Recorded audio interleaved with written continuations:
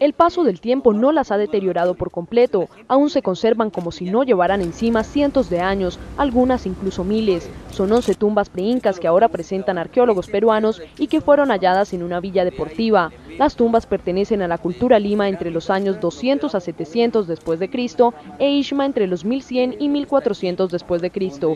Fernando Herrera, arqueólogo. En la cultura este, Lima, lo más característico es la forma de enterramiento que es en forma de cúbito dorsal, de espalda, sobre camillas, amarrado, y cuya cerámica básicamente tiene que ver con los colores rojo, naranja, negro, blanco y un diseño que se llama interlocking, que son peces entrelazados. El sitio de la Huaca Tupac Amarube, que contiene las tumbas, y el sector A, donde se aprecia la tecnología arquitectónica, son una muestra de la Lima prehispánica. La cultura isma correspondería exclusivamente a la parte más tardía, previa a la llegada de los incas, y cuya cerámica se caracteriza por ser roja con pintura blanca muchas veces. Según Herrera, la Huaca sirvió como un centro administrativo para la cultura Lima y después se convirtió en un campo ritual para la Ishma. El sitio arqueológico está hecho a base de adobe, una mezcla de arcilla y arena y desvela unas cámaras que contienen en su interior personajes momificados junto a ofrendas como cerámica y semillas.